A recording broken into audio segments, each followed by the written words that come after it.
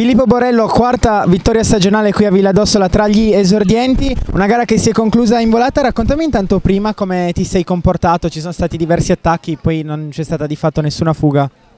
Eh, nei giri prima sono stato sempre a ruota, non ho mai tirato tranne due o tre volte dove sono partiti Mirko Bozza e Raffaele Giovinazzo, poi nell'ultimo giro mi sentivo bene sullo, sullo strappetto eh, sul via, eh, sono provato, ho provato a partire ma sono, sono riuscito a stare dietro e poi in volata è andata bene.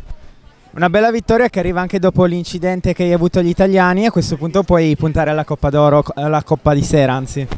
Sì, mi sto preparando soprattutto per il ciclocross, però dai, mi sento bene dopo, dopo la caduta degli italiani a Comano e spero di far meglio. A chi la dedichi invece questa vittoria? La dedico a tutta la famiglia, alla squadra e al mio direttore sportivo Daniele Fiorin.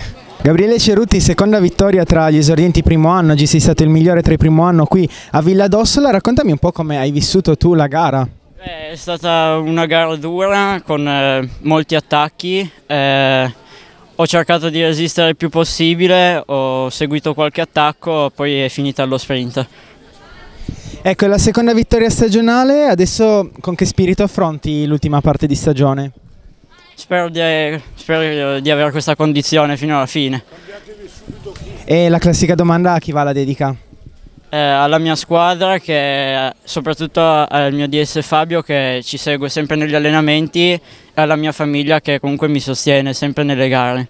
Florido Barale, presidente del Pedale Ossolano, oggi a Villa d'Ossola una bella giornata di ciclismo, siete riusciti a riportare il ciclismo qui in questo paese che ha già ospitato una gara storica in passato? Sì, la gara d'esordienti alla festa della Lucciola c'è sempre stata, adesso era qualche anno che eravamo dirottata sugli amatori, siamo contenti di aver riportato i giovani in Ossola, soprattutto in questo ambiente, che si, si sta bene anche il dopo corsa come si può vedere, c'è molta gente che si diverte, si mangia e più, più che l'evento sportivo anche un evento di ritrovo. Poi la gara ci dispiace per le concomitanze di gare in Lombardia, non c'erano tanti partenti ma sicuramente vi aspettiamo numerosi un altro anno. E il Pedale Solano si conferma grande organizzatore di gara perché in programma mercoledì c'è già la classica di Fomarco. Sì, quest'anno c'è sempre Fomarco con gli allievi, donne esordienti. Vorremmo che questa gara eh, collegata alla domenica prima di Ferragosto negli anni sia un altro appuntamento importante e ripeto di avere più partecipazione. Graziano Zaretti, organizzatore della Festa dell'Unità che ha ospitato qui la gara per esordienti di Villa d'Ossola, vorrei sapere un po' qual è l'emozione di vedere così tanti giovani sportivi pedalare in queste zone.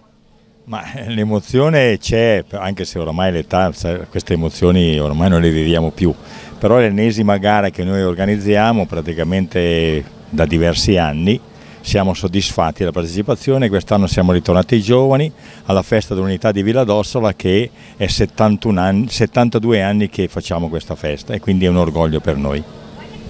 E direi a questo punto che l'appuntamento è per, per il 2019. Eh, certo, quest'anno abbiamo riniziato con i giovani, adesso continueremo ancora con i giovani perché il futuro deve essere loro e quindi la festa è grata di ospitare di nuovo il pedale solano, organizzatore e i giovani che partecipano.